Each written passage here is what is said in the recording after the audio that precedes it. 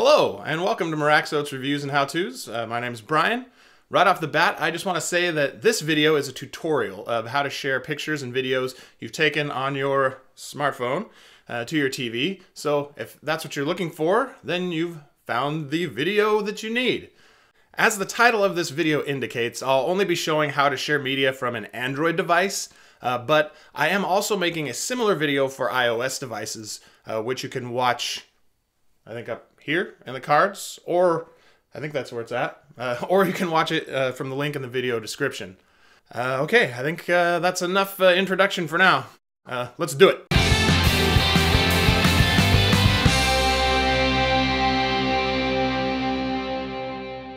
Thanks to the plethora of smart TVs and other smart devices out there like uh, the Chromecast, Fire TV, and Roku devices, uh, as well as game consoles like the Xbox One, which connect to our TVs, sharing media to your TV is now easier than ever on Android. Uh, unlike five years ago when I made my original video, I feel it's a pretty safe bet that you're going to have at least one of these devices connected to your TV already, uh, which is going to make casting your pictures and videos super simple. I think it goes without saying, but I just want to be very clear. Uh, you need to have your smart TV or smart device like a Chromecast or whatever uh, connected to your home network. You must also have your smartphone connected to your home network in order to cast your photos and videos to your TV. I think most people already understand this, uh, but again, I just want to be very clear.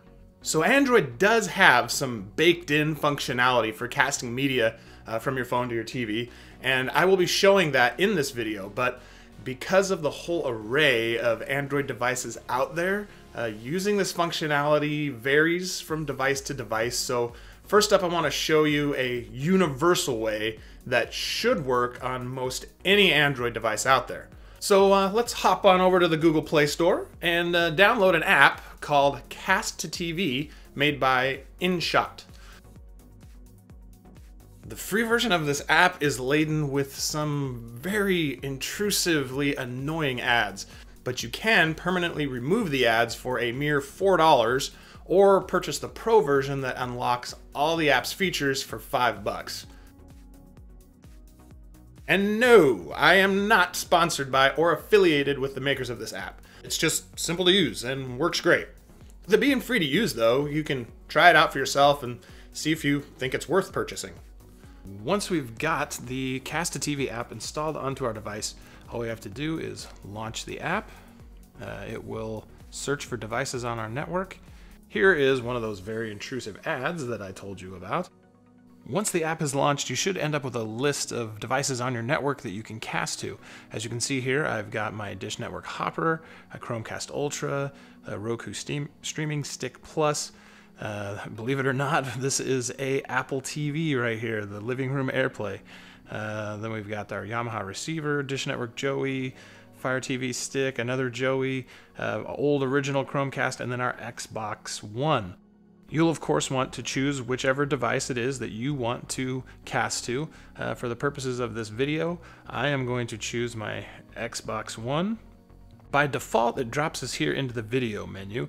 And what you're going to want to do is come up here, and if you want to share a photo, you can uh, tap photo. And uh, for the purpose of this video, let's just do this one right here. And it will begin playing on my Xbox. And then I can scroll through my pictures here to something else, and it will switch to the, that particular thing. Now, if we're wanting to cast a video, we will come up here. We are going to hit video and uh, navigate to our videos. And I'm going to choose this one here that my daughter shot of our dog. And it should start playing here. There we go. Using an app like Cast to TV makes sharing your media to the big screen super easy. But uh, like I mentioned earlier in the video, there is built-in functionality for this on many Android devices. So I'm going to now show you how that works. With your phone and smart device of your choice connected to your network, to cast a picture to your TV, all you need to do is go to the picture you want to share, hit this little icon up on the top of your screen, and then choose the device you want to share your picture to.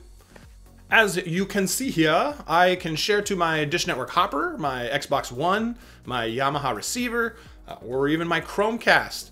Uh, if you have a Roku or Fire TV, uh, those devices should show up on this list as well. Uh, tap the device you want to share to, and boom, you're done. There is one little caveat I feel that I should mention uh, when you're trying to cast to like a Dish Network receiver, uh, like right here. You will have to take your Dish Network remote and you have to grant access to the device to cast to it. But once you do that, you are good to go. Now, my phone is a Samsung Galaxy S9 Plus, and I know that not all Android phones are the same, uh, so I tried using my old Galaxy S6 and S4 to see if the process is the same. And for the most part it is, but I want to show you how those devices handle it, so just in case your phone doesn't quite work the same as mine, uh, one of these examples will hopefully help you figure out how your particular phone does this. On my Galaxy S6, I had to tap the share icon at the bottom of the screen and then tap view content on TV, which then brought up my list of available devices to share to. My S4 was more similar to the S9, where I just tapped this icon here, and then my list of devices came up. Unfortunately, I don't have any LG or HTC or other Android devices I can try this with, so hopefully one of these examples will help you figure out yours uh, if it is different.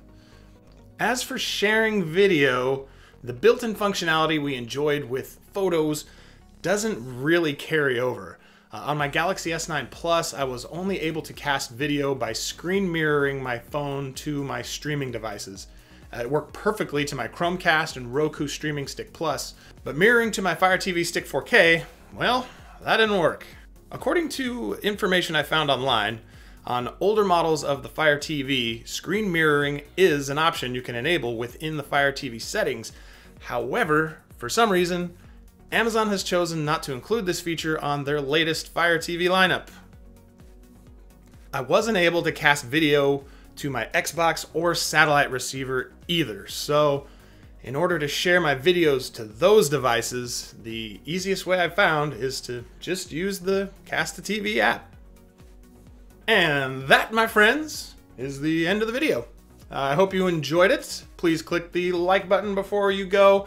Uh, share it with your friends. And if you have a question, please hit me up in the comments and I'll do my best to get back to you there. Subscribe to my channel if you'd like to see more videos from me.